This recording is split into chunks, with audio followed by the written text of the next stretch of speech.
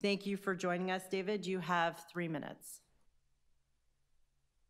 E-scooters pose two serious dangers to vulnerable people with disabilities, seniors, and others.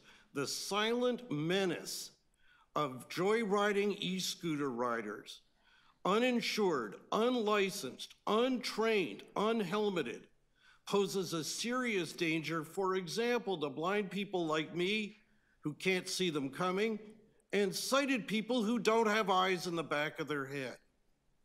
They pose a danger to our accessibility, strewn on sidewalks, either tripping hazards for blind people or barriers for people using mobility devices. You've been told this, City Council has been told this by city staff in 2021, by city staff in 2024, by the Accessibility Advisory Committee in 2020, and in, pardon me, and in 2021, and in 2024, by 22 community organizations, including the Accessibility for Ontarians with Disabilities Act Alliance. Like, the message is clear. So let me address two counter arguments. Oh, other cities do it. Well, the other cities disregarded these concerns. The city staff report before you includes ample data that those other city staffs did not collect, did not address, did not refute. Two wrongs still don't make a right.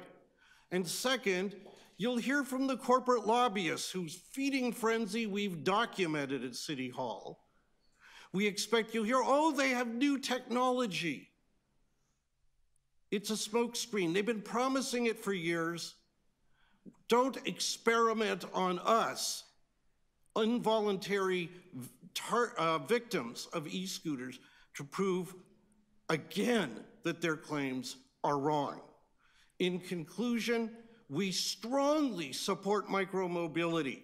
You have ample options before you. Please pass the report as written without changes. And if you look at all the options you've approved or would approve, you don't need e-scooters. They create more dangers. They do not add additional benefits. Thank you.